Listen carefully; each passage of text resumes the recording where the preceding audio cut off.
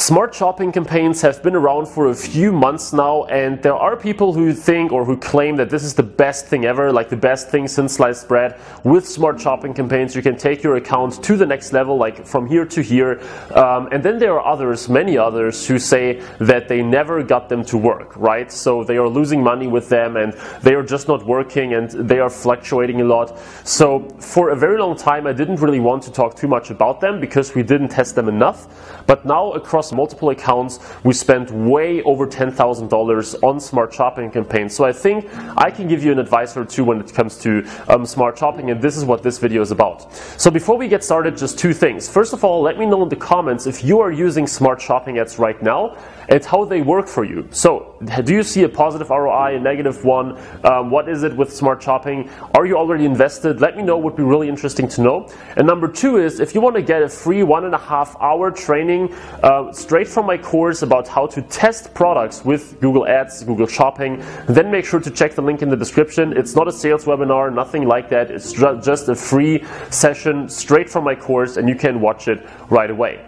So with this being said, Let's dive into the video and I want to talk about three different aspects of smart shopping here today. Let's get started with number one, what are smart shopping ads? As you probably know, smart shopping ads are designed to really take a lot of the tedious work off your shoulders. So when you run smart shop, when you run normal shopping campaigns, you have to do bids and negative keywords and you have to uh, decide which products should like show up more often than others and as I said, bids on the individual product level and so on and so forth. Um, and Google introduced smart start shopping to put more of that work into the hands of machine learning. So the ideal thing here is that you can spend more time on like the creative and strategic tasks. You can write ads, you can think about new products that you want to test, you can um, optimize your feed, you can do all these things and let Google do like the tedious everyday work of optimizing the products for the right delivery and the right bids and all that stuff. So this is what smart shopping ads are really made for. And I think that all of Google ads will go into this direction, right? Google Ads now have a lot of different automated bidding strategies, smart shopping ads, and they will just do more of that so that you can focus on this really creative and strategic things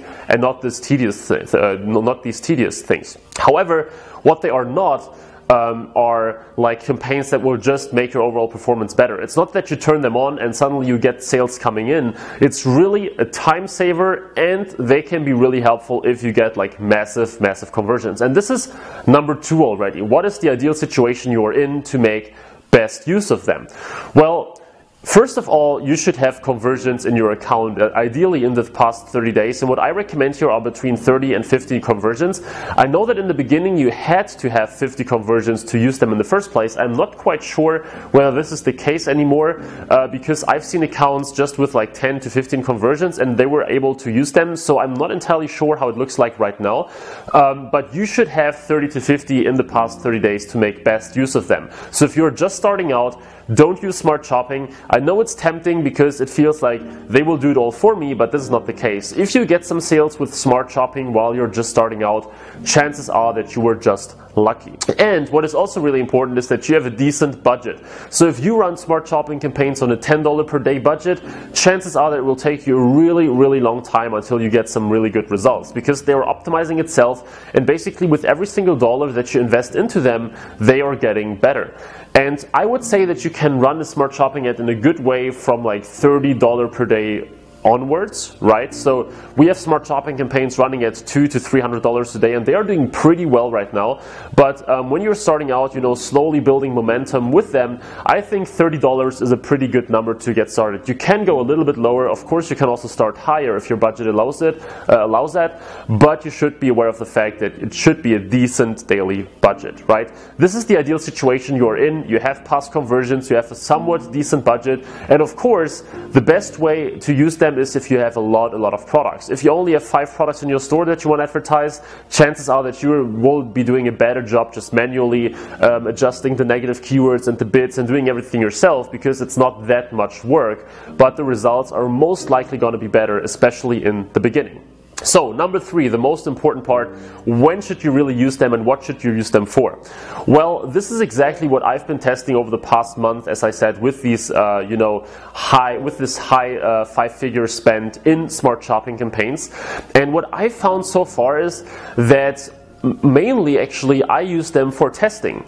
So there are people who use them for massive scaling, like scaling a single product or something, but I found actually that I prefer to test or to scale the products myself. So if a product does very well, I want to scale it myself to three, four, five, six, seven hundred dollars a day in ad spend, uh, because then it gets really important that you can do like negative keywords and multiple campaigns with different priorities and all that stuff. So then it's getting really important that you can do all these things. However, in the testing phase, it's usually quite tedious, right? So let's say you want to test 30 products, and um, instead of just you know doing all this negative keywords on the product level and adjusting the bids all the time, what I like to do now, if the budget is right, um, put all these products into a smart shopping campaign.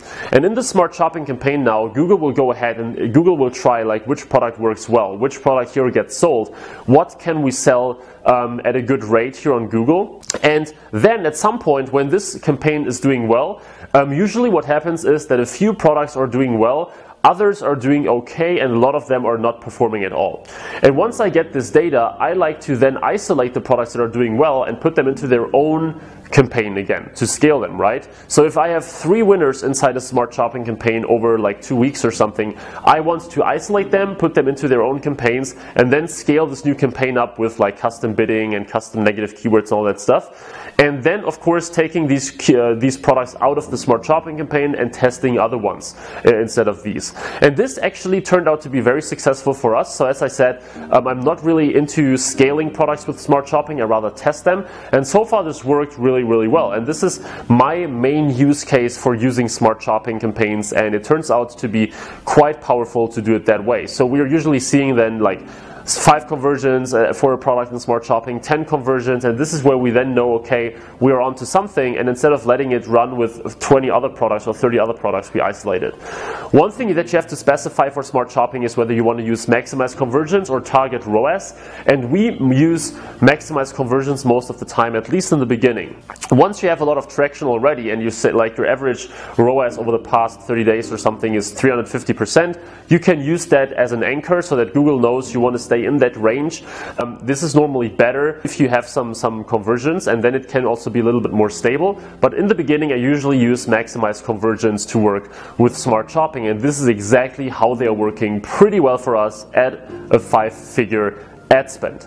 So yeah, this was pretty much it about my news update for smart shopping campaigns. As I said, there is only one real major use case that we are currently using them for. We try other things, but nothing worked so far uh, as good so far as really using them for massive testing. So I hope that you enjoyed this video. I hope it was helpful for you um, and that you now have a better idea of what smart shopping campaigns really are, how to use them and when to not use them especially. As I said, let me know in the comments how you are currently doing with smart shopping would be really interesting to know and also it helps me like come up with some new video ideas. Probably I need to go into a single direction uh, with them.